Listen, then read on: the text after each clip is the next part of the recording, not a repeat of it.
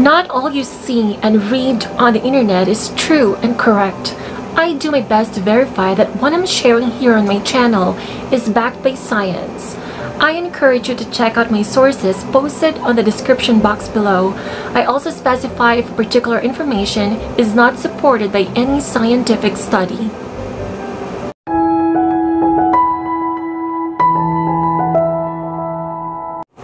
Eating star fruit has been related to the development of kidney damage caused by oxalates. Three pieces of star fruit or less than a cup of its juice can lead to acute star fruit nephrotoxicity. Ingesting even small quantities of star fruits may cause kidney issues, so it is important that the public is educated to avoid its consumption, especially when one is dehydrated or has an empty stomach to prevent nephrotoxicity. Star fruit contains a potent neurotoxin that can gather in the bloodstream and traverse the blood-brain barrier, eventually causing irreversible damage to the brain. The toxin is called caramboxin, which is normally excreted through the kidneys.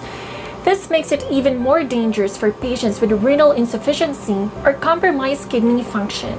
It is so toxic for patients with severe chronic kidney disease that even a single star fruit can cause them to have seizures within three hours, be in a coma, and then die within three days.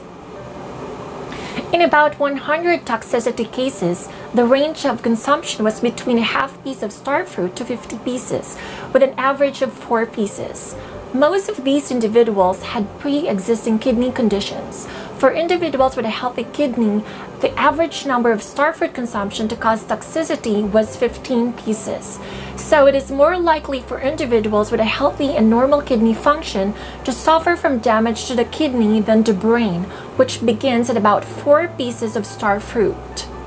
The bottom line is that individuals with a chronic kidney disease should not consume starfruit to prevent intoxication. The fruit is popular in Brazil and there are existing laws to alert the public regarding the risks. Due to its neurotoxins, star fruit should be forbidden for individuals with chronic kidney disease. To err on the safe side, those with healthy kidneys should probably avoid it as well. If you find this video informative and interesting, please give it a thumbs up and share it with your friends.